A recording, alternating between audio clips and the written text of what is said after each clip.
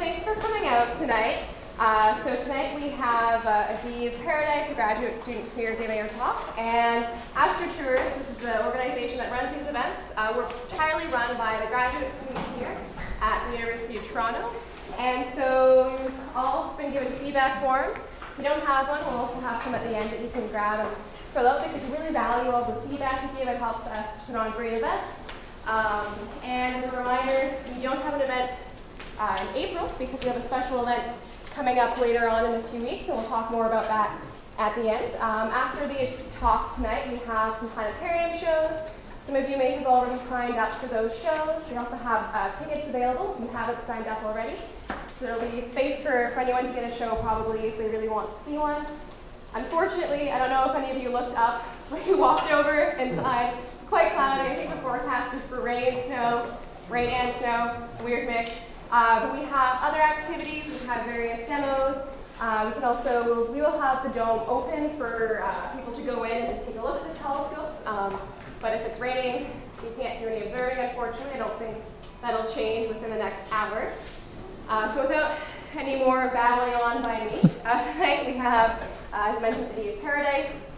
He's a third year PhD student here, and he's studying climates uh, and habitability of, of, exoplanets, of other planets, uh, by running models and doing theoretical work to try and understand that, and that's part of what he's going to be talking about tonight. Uh, in his spare time, he enjoys playing ultimate frisbee and also paying very, very close attention to fish tank chemistry. You can also ask him about that, and he will go on for a very, very long time. Um, welcome, Adiv.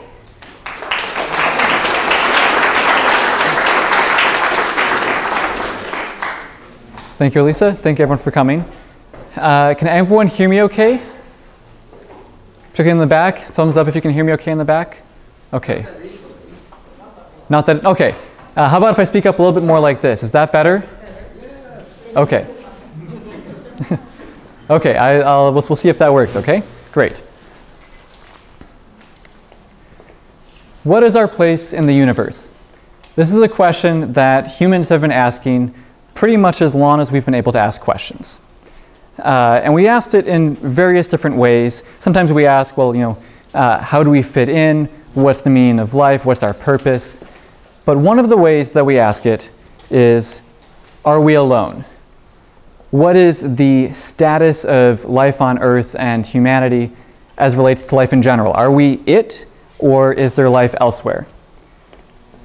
We have many reasons for asking this question. For some people, it's just purely philosophical. You know, what is, what is our place in the grand scheme of things? For others, it's more practical. Uh, you know, is there a plan B? It is an astrophysical certainty that at some point, Earth will not be suitable for human life. Uh, either through some cataclysm, as has happened many times in the past in Earth's history, or simply because eventually the sun will grow old, it will grow large, red, and hot, and bake the earth to a crisp. Eventually, humans will not survive on Earth. So some people want to know if there's life elsewhere because then, hey, we could go there maybe. Maybe that would be a good backup plan. For others, it's just sheer curiosity.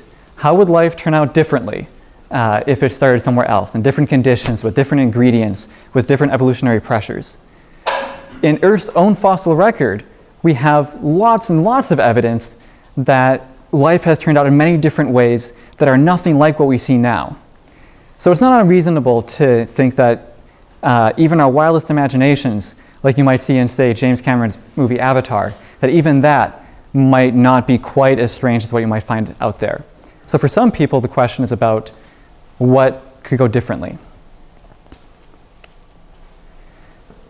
So that makes it an interesting question for astronomers to think about. Uh, so one of the ways that we do that is through what's called biosignatures. Uh, now biosignatures uh, are things that uh, we can see that we think could only exist uh, if something was producing them, that they, we think they wouldn't survive without life. So that's things like oxygen. Oxygen tends to react pretty quickly with rocks and with other compounds and with other gases. on Earth, oxygen only really became a prominent part of the atmosphere when photosynthesis evolved. Methane's another one, and also pretty reactive. Nitrogen. Uh, some people say that Earth's atmosphere couldn't be mostly nitrogen without life to continuously bring it through geological cycles, uh, bring it out of the ground and back into the atmosphere. Ozone, also a pretty common one. Uh, ozone tends to break apart in sunlight, so if you're producing more ozone and oxygen, then you can have more of it. Radio broadcasts uh, is a pretty obvious one. If you're getting a phone call, it's, it's probably from somebody. And of course, giant malevolent spaceships. if giant spaceships show up, that's a pretty good indication of life. Uh, but this talk is not going to be about those uh, because for each one of these, except the last one and maybe the last two, uh, you can think of some way that you could produce this without life.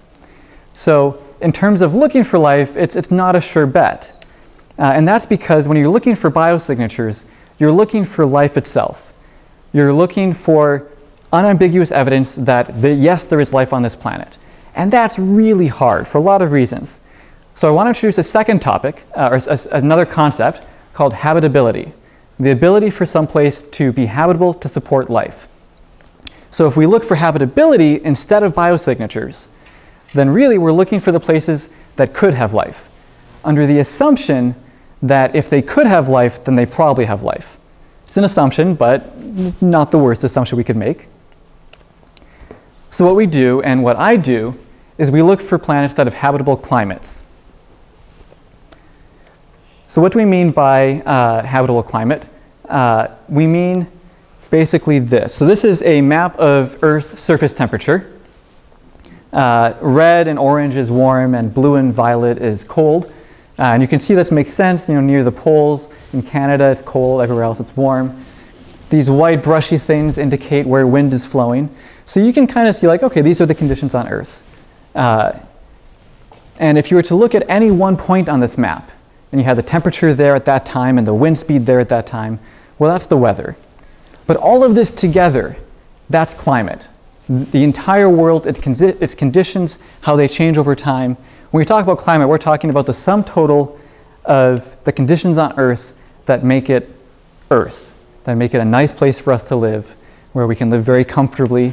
Uh, you know, just have to wear a jacket, maybe an umbrella if it's raining a little bit.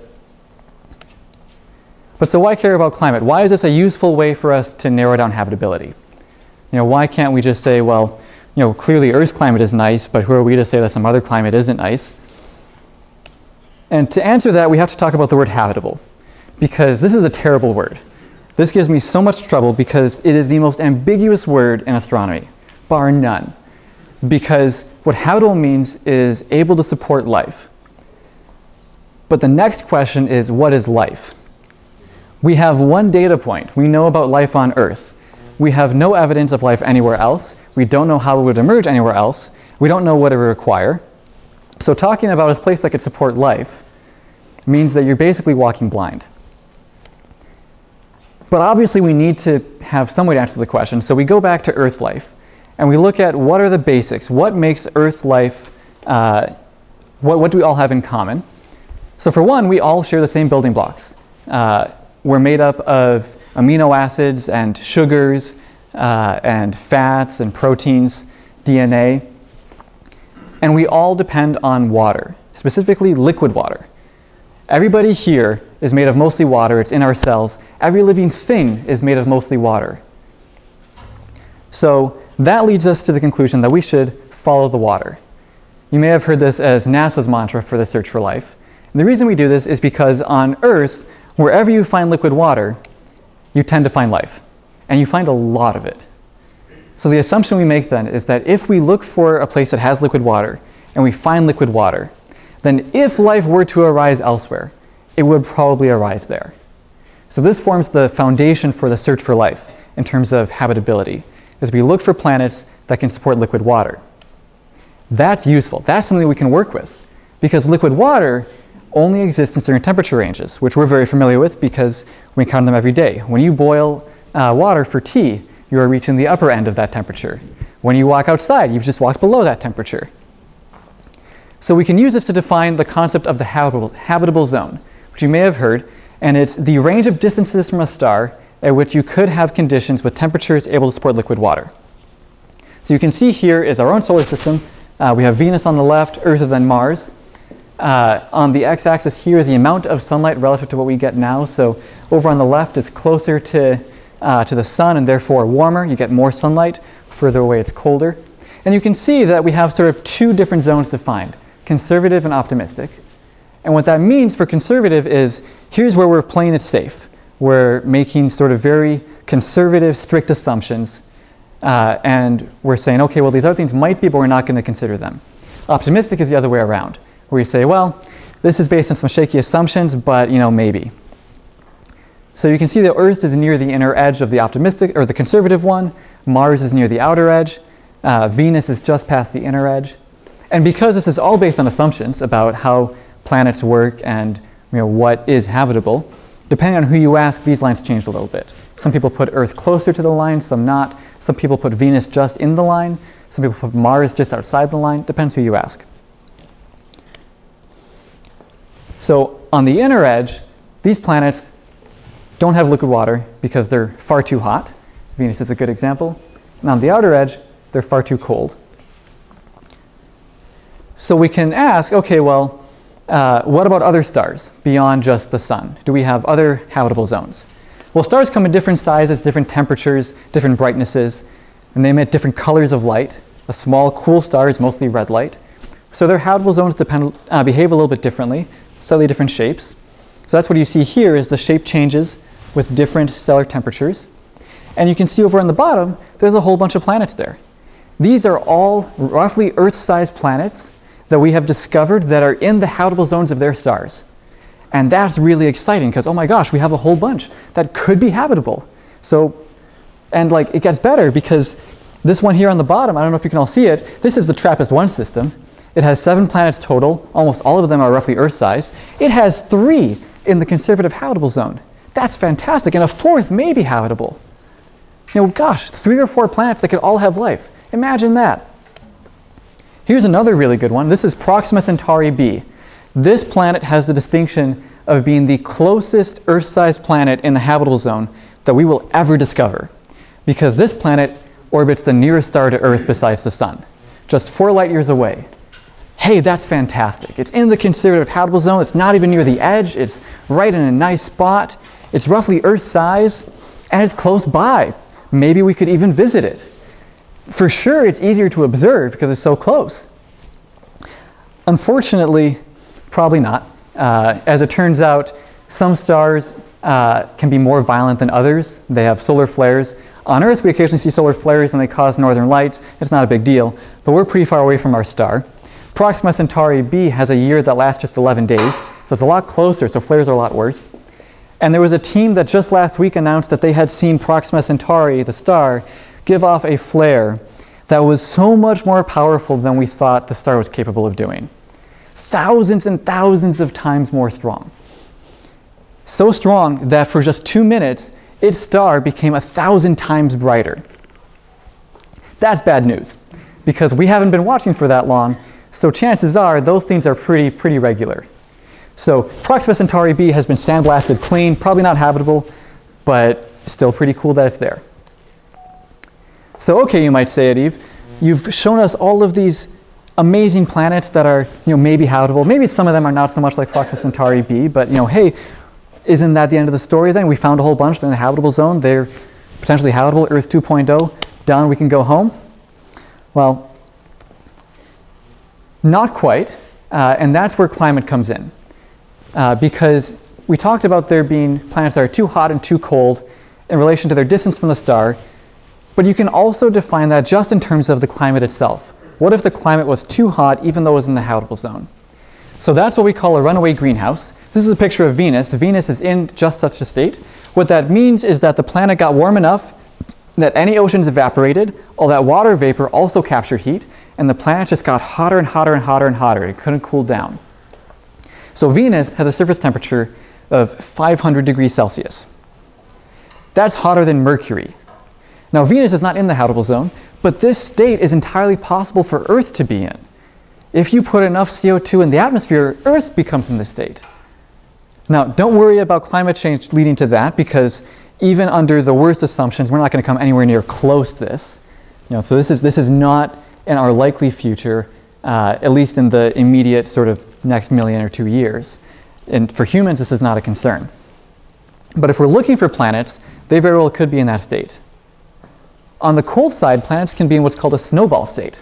This is where ice completely encases the planet all the way down to the equator, glaciers everywhere, the worst ice age imaginable. That looks pretty bad. As it turns out, actually, Earth has been in this state at least twice. We have pretty good geological evidence that glaciers made it to the equator once about 2 billion years ago, uh, and once about 800 million years or so ago. And for a long time, the first time, it stayed there for a couple hundred million years. The second time, only like maybe 10 to 50 million years, but still, that's a long time.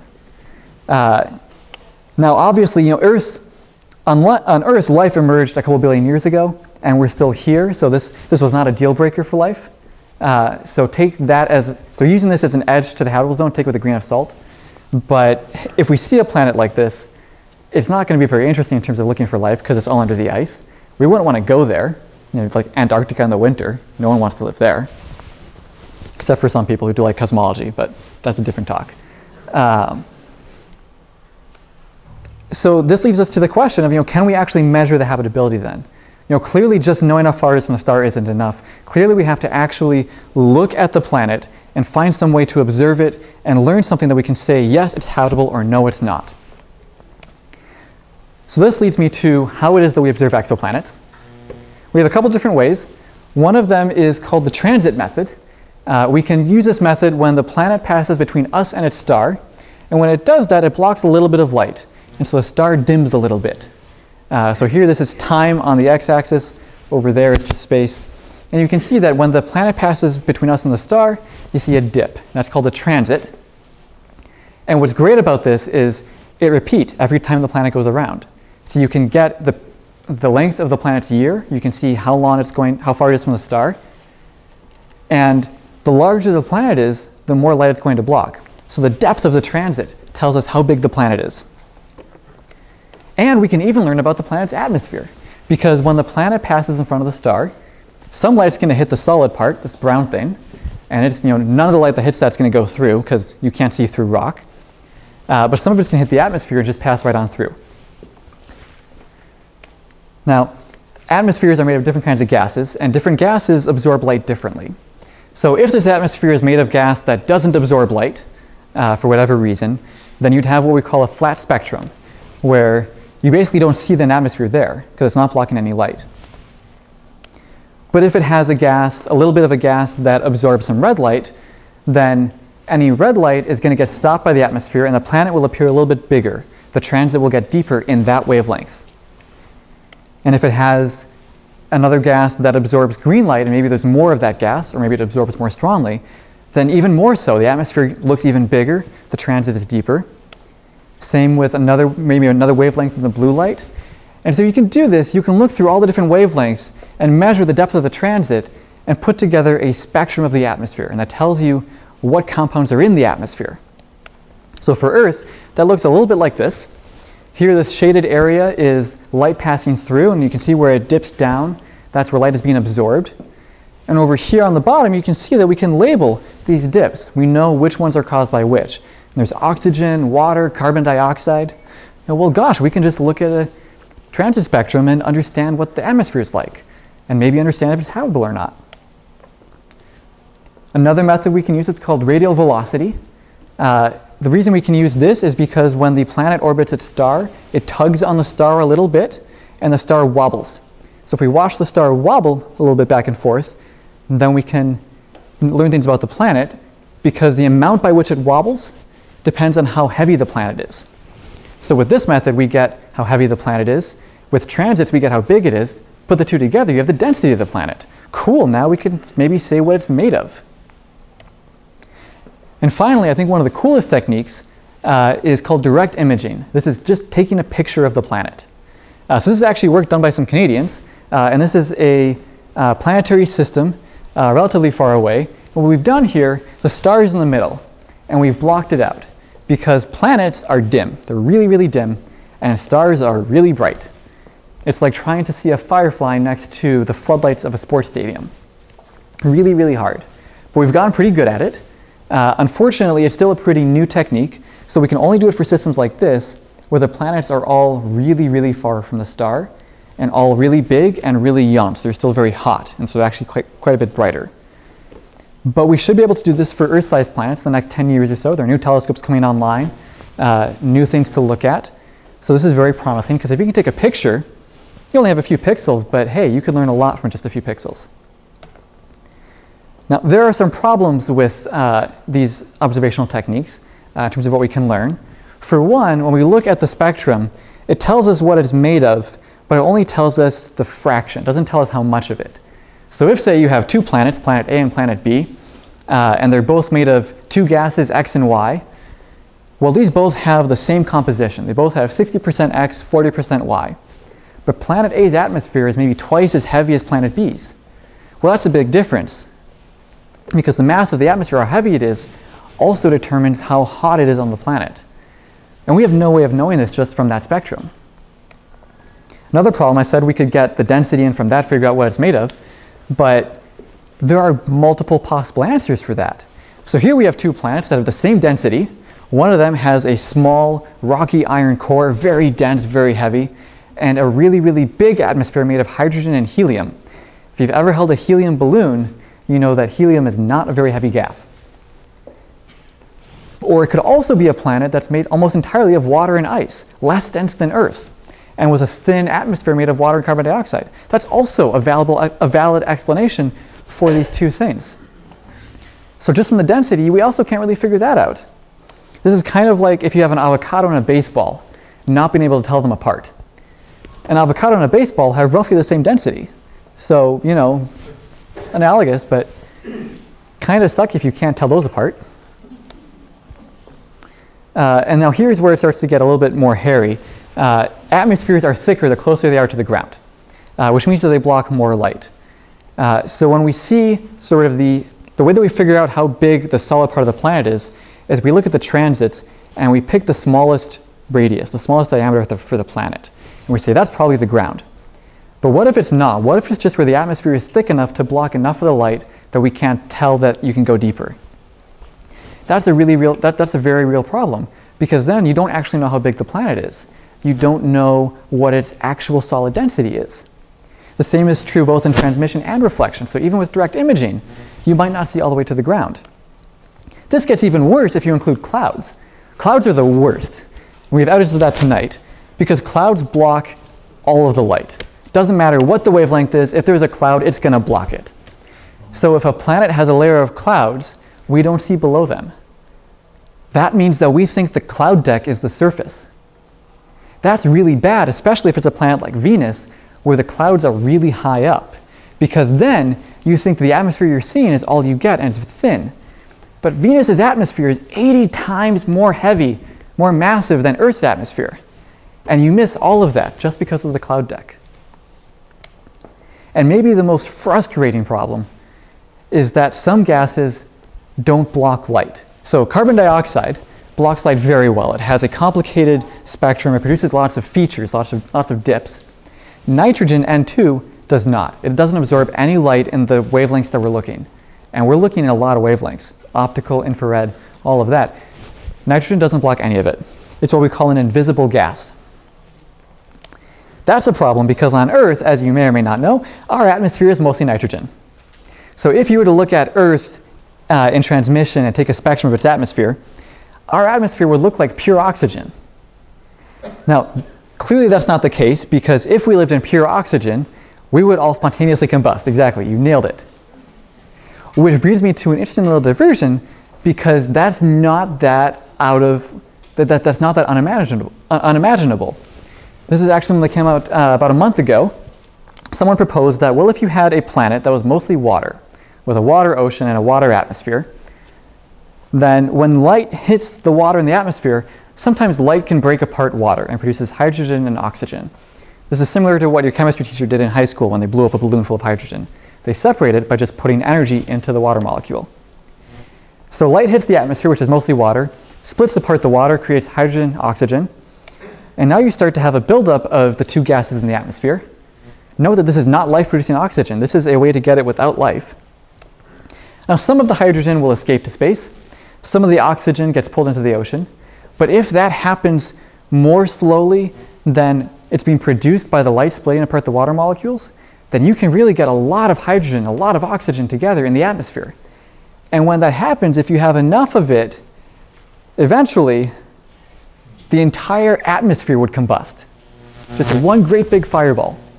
And when that happens, that reaction produces water.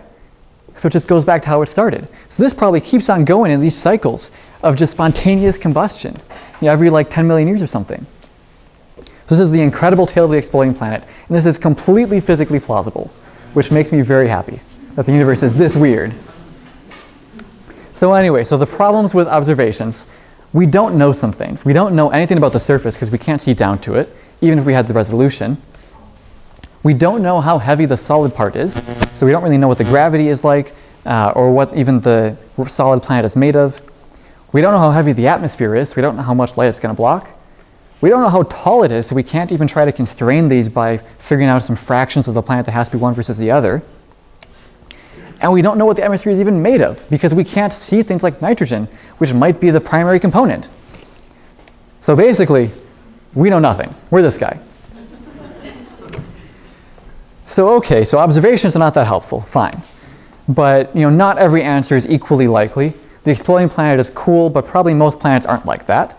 Uh, probably most of them have something other than water.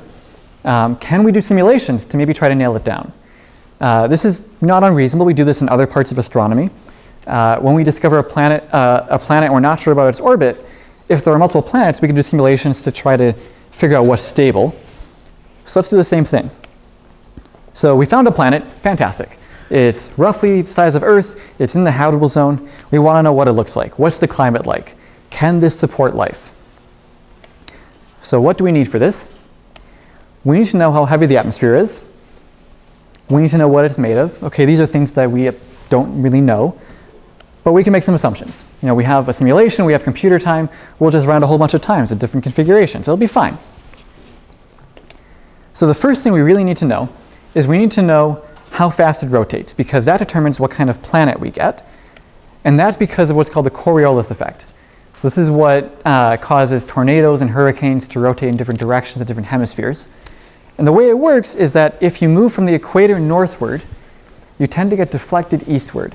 We don't notice it at our walking speed because we're not moving that fast, but air notices it quite a, quite a lot. And that leads to rotating bands in the atmosphere. So this is the top of Earth's atmosphere, or near the top at least, uh, showing wind speed and direction. So pink and orange and purple is faster wind and blue is not a whole lot of wind. And so you can see that we have you know, sort of three to four large, well-organized bands that rotate in opposite directions. Very similar actually to how Jupiter works, because this is a common thing around planets, is that they tend to have these counter-rotating bands because of the Coriolis effect. A little bit closer to the ground, this organizes into the jet streams, uh, which we know and love as the things that bring us the polar vortex. Uh, they're instrumental in shaping how heat is moved around the planet. So if we want to know about temperature and heat transport on the planet, we need to know about the circulation and the rotation. So a really simple case is uh, planets that are what's called tidally locked. Uh, so this is the condition that you get when the planet always has the same side facing the sun because it rotates exactly once for every orbit. The moon does this too. This is why we only ever see the same side of the moon. This is fairly, fairly recognizable. This is what you see if you look up in the sky, maybe with not quite as much detail. Nobody recognizes this unless you've gone and done your research. This is the other side of the moon. This is the far side of the moon that we never see from Earth. We had to send spacecraft around to the backside to see this. And that's because the moon is tidally locked. So for a tidally locked planet, we call these eyeball planets. Because if you look at the temperature of the planet and you map it onto a sphere, the day side, which you can see lit up here, has a hot spot where it's always in perpetual sunlight, perpetual noon. And on the night side, perpetual night. Nighttime for billions of years. It gets very, very cold. So it looks kind of like an eyeball, so we call it eyeball planets. Now, if you look at what it actually looks like, you have ice sheets that extend all the way across the night side. You know, frozen tundra, Antarctica is a terrible place to live. on the day side, you have areas that aren't frozen. And if there's water there, well, water tends to evaporate when you uh, heat it up. So you end up with these permanent storm systems. A hurricane the size of a continent sitting there permanently under the, under the, uh, under the star. Another type of planet that you might get is uh, what we call a lobster planet. Uh, a slightly different rotation rate. This is if you include a little bit more ocean heat transport. Uh, we call it a lobster planet because it kind of looks like a lobster, and there are little, like lobes with like claws and like a tail. I'll, I'll make it easier to show. See? kind of like a lobster. It, it's fairly clear if you look at the sea ice. So if this planet is entirely ocean, uh, white is where the ice is and blue is where there's open water. The arrows represent wind and the direction the wind is going. And this looks a little bit more like a lobster. It's got like a head and claws and a tail. So, lobster planet. Where it gets really interesting is if you change the ocean from saltwater to freshwater. That changes how the ocean moves heat around, and now it makes like a nice little heart. So there's really this huge range of things that we get just by nailing down the rotation rate. So we'll assume something. Uh, most planets that are close to their stars are tidally locked. Uh, that's because the closer you are, the faster you get to that state. The moon got to that state after just maybe 10 to 30 million years.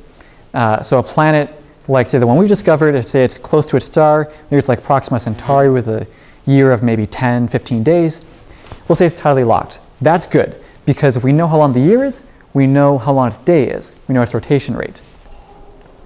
So that means we can maybe try to predict what the jet streams look like, how they move heat around. That's not the end of the story for that, though, because you can see that these have really complicated shapes.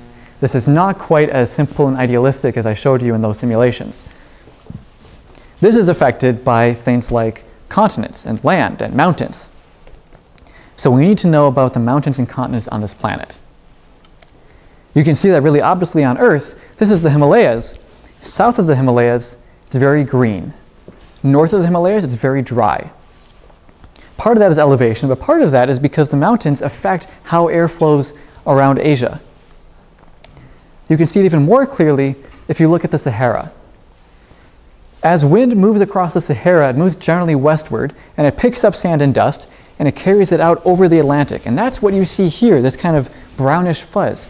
That is dust being carried away from the Sahara across the Atlantic to Brazil. Uh, where our simulations show it actually probably affects the weather in Brazil. So if you want to know the weather in Brazil or the climate in Brazil, you have to know what the air hits first because it's going to bring dust over if it passes over the Sahara. So if we want to know about the circulation patterns, we need to know about the mountains and continents. But we don't have that. We have like one pixel if we were lucky. We have a transit. We have transmission spectroscopy. We don't have mountains and continents. But we could ask a geologist because mountains and continents form for a reason. Maybe they can help us. So we go to the geologist and we say, hey, how do mountains form and how, can you help us figure out where they form? And the geologist explains that it all depends on something called plate tectonics. Earth's crust is divided into these plates that move around and bump into each other and push and stretch and all that. Uh, and that's what forms mountains, is when they buckle like that. So if you want to know about the mountains and continents, then you need to know about how fast those plates move around, how much they hit each other. The rate at which that happens depends on whether or not you have oceans. As it turns out, water lubricates the rock, makes it softer, it melts a little bit more easily. Uh, and so it's, as it turns out, very important for plate tectonics. You also need to know the temperature of the oceans, because as it turns out, and we're learning a lot from this geologist, the rate at which the plates move depends on the temperature of the seawater, not the mantle underneath. So you need to know how warm the ocean is. So how warm are the oceans? Well, we don't know that either. Uh, we're astronomers, we, we don't know this stuff. Um, so let's ask an oceanographer. You know, they might know, they, they study oceans. So the oceanographer asks, well, how deep are your oceans? Well, we don't really know that either, but we can make some estimate. Uh, we know roughly how big the planet is. Uh, we know on Earth how deep the oceans are. This is a map of the uh, depth of the ocean. Uh, the white areas are where it's not as deep, and blue is where it's a little bit deeper. And you can see, you know, it's roughly the same depth most places. So maybe we can just make a reasonable assumption about, you know, how deep the ocean is likely to be based on maybe how strong gravity is on this planet. Maybe it like squishes the ocean basins or something. We'll make an assumption. Then the oceanographer asks, where are the continents and how much land is there? And you give the oceanographer a look, like, why do you want to know that? And the oceanographer says, well, because you need to know about the ocean currents. Earth's oceans have currents, which you can see here in the green and red, uh, that flow throughout the oceans uh, in these really well organized, sort of swirling patterns. And you can see that they depend on where the continents are. They interact with the continents, they track their sides, they form off the points of continents. And those ocean currents are really important for transporting heat around the planet. You can see here near the top, the Gulf Stream is pulling warm water up towards Europe. That's a huge part of why Europe can have people living there really relatively comfortably. That's why France is nice. So if you want to know about the ocean currents, then you have to know about the mountains and the continents. You have to know where the land is. So that's a problem because we don't know where the continents are. That was the whole point of talking to the geologist. And then the two of them together point out that, well, actually, it's a lot more complicated than even that. Everything depends on the other things, and it's just all very complicated and, and uh, complex. And at this point, we're like, well, gosh, everything's circular. It all depends on itself. Basically, if we want to build a model of this planet and predict its climate, you have to include an entire planet in this model. So at this point, you know, you're, you're pretty depressed because you're trying to do a PhD and you're trying to figure out how to find these habitable planets. And it's all circular. So is, is, is this a dead end? Are we just completely lost at sea, unable to determine if planets can support life? Well, maybe not. Maybe there's some hope, and maybe we can actually pull something out of this. Because the key here is that everything was connected. All of the different systems affected each other interacted in various complex ways that were difficult to understand, but nonetheless there. So maybe the things that we can observe change in response to the things that we can't.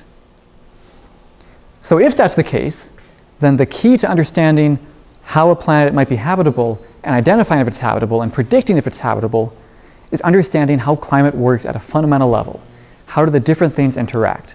And for that, we need to look back to Earth. We need to really understand how Earth's climate works. And we still have a lot to learn about that. We know surprisingly little about all the different ways that the different parts of our planet interact. This is not to say that climate scientists don't, don't know what they're talking about. We know enough to know that the climate is warming. We know enough to know roughly how much it will warm by. What we don't know is how the different systems respond to changes. That is still an area of active debate. That's where most of the disagreement is in climate science, is in how do these various feedbacks and interactions work. And those are the same things that we need to know if we want to study habitability. So maybe we can learn some lessons about Earth from studying exoplanets and their habitability. Everything on Earth is dramatically interconnected. Uh, so maybe in order to understand habitability, we have to first understand our own home. So when I'm confronted by this, uh, I'm struck with just how big this problem is. There are so many things that need to tie into this. We haven't even talked about forests and how life affects weather and the climate. All of these things need to come into play. And it is inescapably clear that Earth is just incredibly big. And that's sometimes a little bit surprising, especially in astronomy, because we like to talk about planets being small. They're relatively small compared to everything else in the universe. Earth is a pretty small planet. So it's really easy for us as astronomers to fall into the trap of thinking about planets as simple idealized systems, you know, single data points, like those earlier models. But really, Earth is this giant, complex, vast place with a huge diversity of landscapes and ecosystems. I mean, people talk about how the world is getting smaller, and in some ways it is because you can travel everywhere very fast and you can talk to anyone anywhere in the world, but the world is still just as big as it ever was. You could travel for your entire lifetime and not see even a fraction of the world. So I'm really struck by just the sheer complexity and vastness and diversity of this problem and of, the, and of, of this planet. I mean, look, these little things here are trees. This is a huge landscape. Last summer, I took a road trip across uh, the US and Canada to get to the Pacific Northwest to see the eclipse. And I went with my friend Jason, another grad student here. After driving across North Dakota and Montana, uh, Jason now takes personal offense when people say that Earth is small. Because Earth is unimaginably big. This is a picture from that trip. This is just North Dakota. Who knew? I thought North Dakota was flat. No, it's a really big place. The Earth is really big. And not only that, but interconnected. And that means that you have to maybe change your perspective about how we interact with the earth. Now, I certainly do, because what this tells me is that my actions here, my experiences here in Toronto, are affected by and affect people elsewhere in the world in Indonesia, in Brazil, in Russia. And so I have to think about this as a more global place. We have to think about Earth holistically. We need to understand that we all share the same planet because our mutual experiences affect and are affected by the experiences of everyone else on the planet. So for me, this leads me to maybe think about humanity in a slightly different way. We need to look at Earth and understand our own home if we're going to understand habitability. In 1978, Carl Sagan wrote that in the deepest sense, the search for extraterrestrial intelligence is a search for ourselves.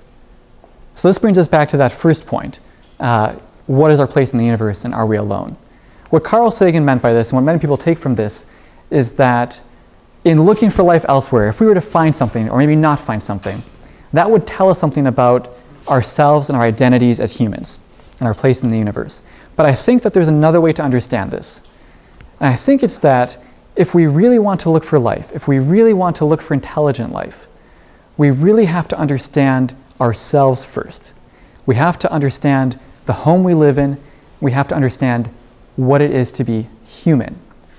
Now, that's where everyone else comes in, where you all come in. Because us astronomers, we can keep on looking for planets. And we will. We'll keep on looking for them. We'll keep trying to characterize them. I will keep plugging away at my code trying to understand how climate works. But ultimately, the question of what is humanity is something that requires a lot more than just that. It requires more than science. It requires economics and politics and business and religion and arts and literature. It requires the entire range of human experience. It is a question that can only be answered by the sum total of all of humanity. Everyone's experiences are all part of answering that question what is it to be human? Thank you. I'll take your questions.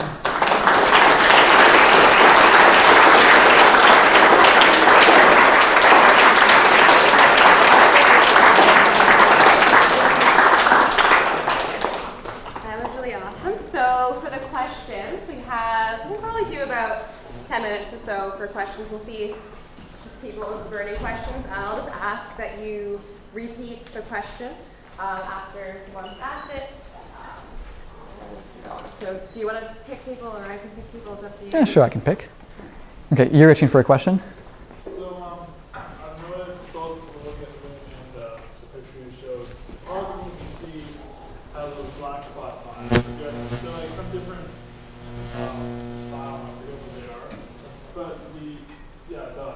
the other, the far side of the moon didn't have those dark spots. It was all pretty, yeah, it was like, you compare, it's really uniform. Does that have anything to do with that uh, thermal eyeball effect you mentioned? Like it being tidally locked, meaning that, did that affect those black spots on the moon?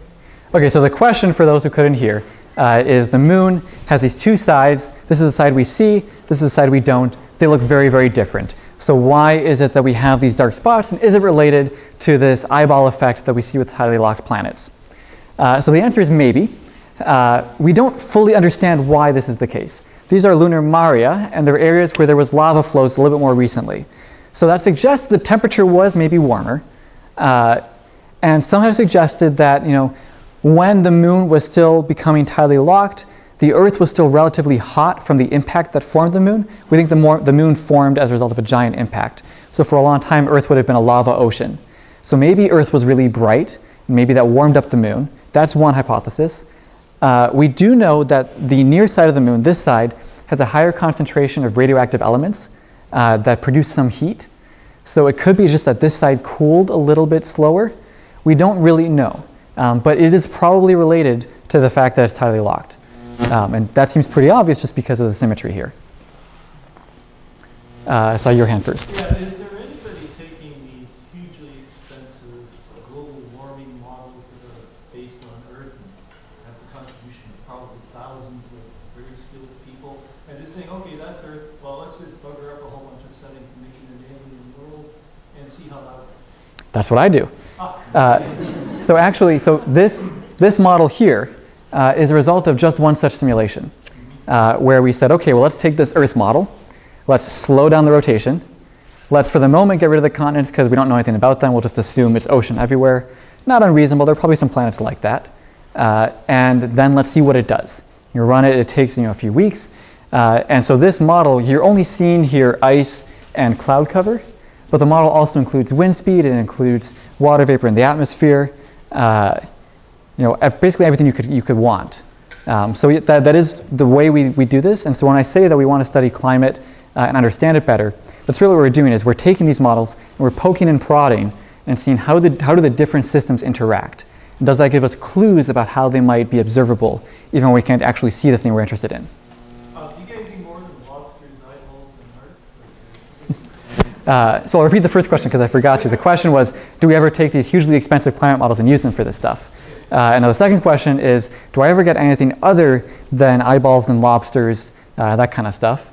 Um, yes and no. Uh, if you put in continents, uh, then you can start to deviate from that a little bit.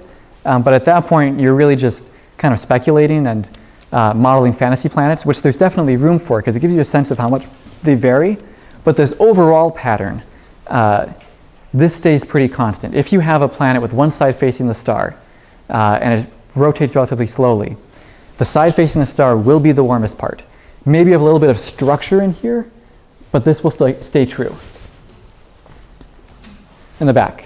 Uh, The the James Webb Space Telescope is supposed to be coming out soon. Uh, How many of your, how many of your questions do you hope that it might answer? Or how many problems is it going to You know, I don't know. Uh, so James, uh, so the question is, the James Webb Space Telescope is going to launch soon, hopefully. Uh, how much can it contribute to this? James Webb is partly designed to look for exoplanets and be able to look at Earth-sized worlds and really kind of nail down what their atmospheres look like. Uh, so with that, we're basically looking at transiting planets. We're looking at the ones at which we can do this kind of thing. You know, looking for the light passing through the atmosphere and put together a spectrum. Uh, James Webb will give us the ability to see more planets, so we'll have more to look at. Uh, and maybe by that we can learn a little bit more.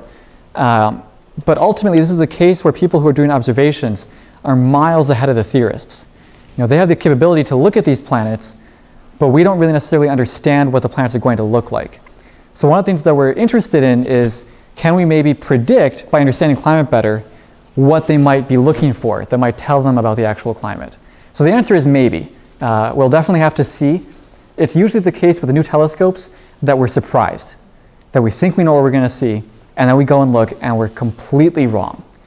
Uh, so I'm, I'm hopeful and optimistic that that will be the case with James Webb, that we will have some pleasant surprises. Uh, I think your hand's been up for a while.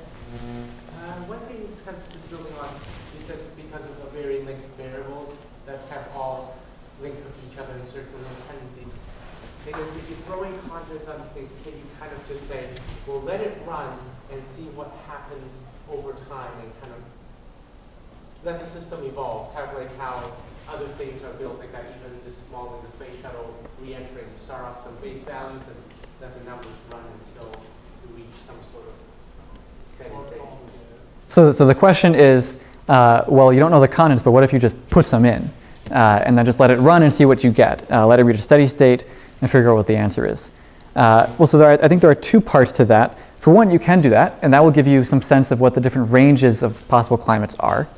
Uh, some of them will break your model because you end up in a place where the continents are placed just right that the planet gets really hot, and then the model breaks because it's not built for hot planets.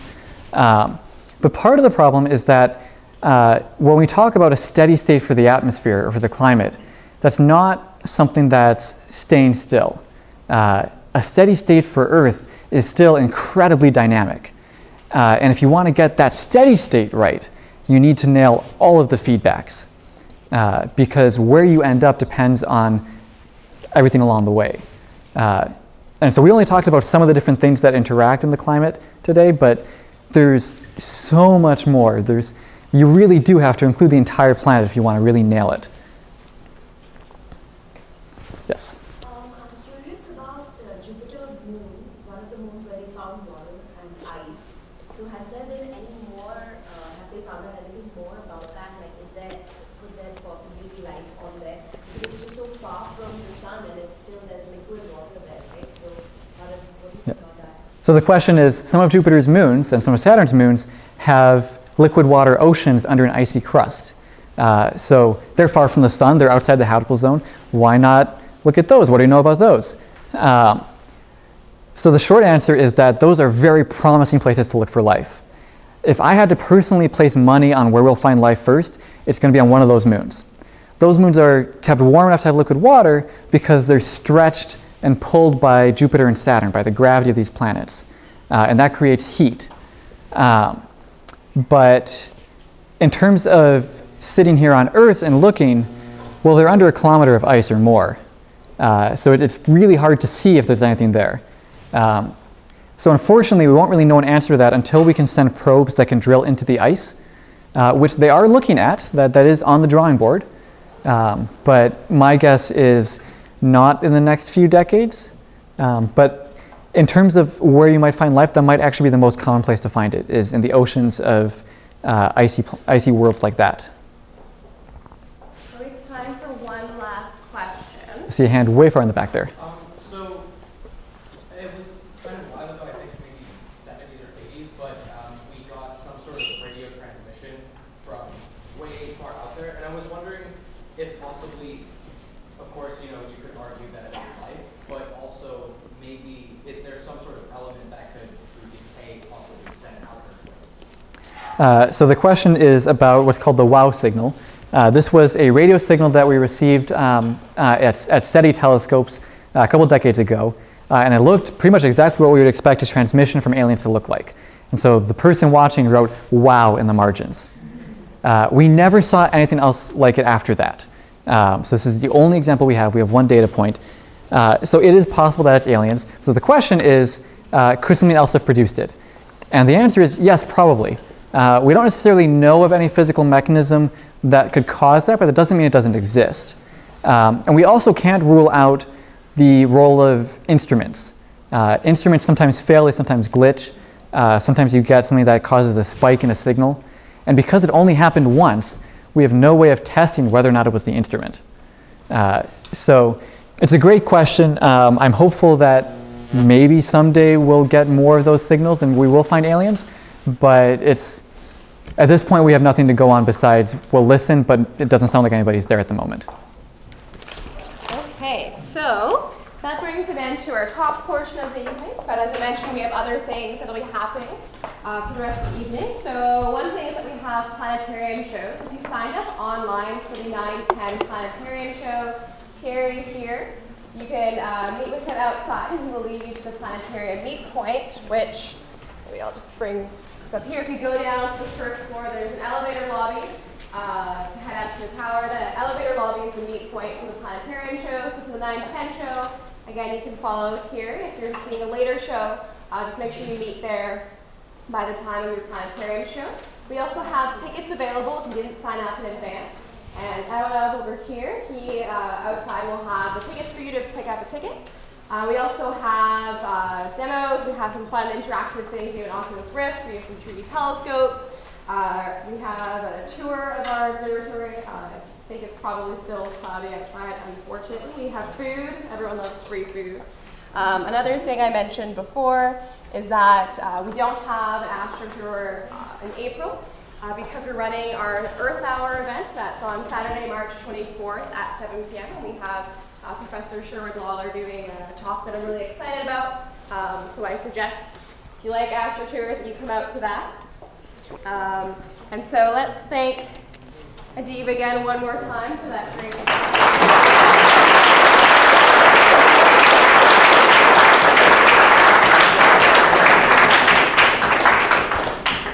And you your feedback forms. So if you'd like to hand them in, just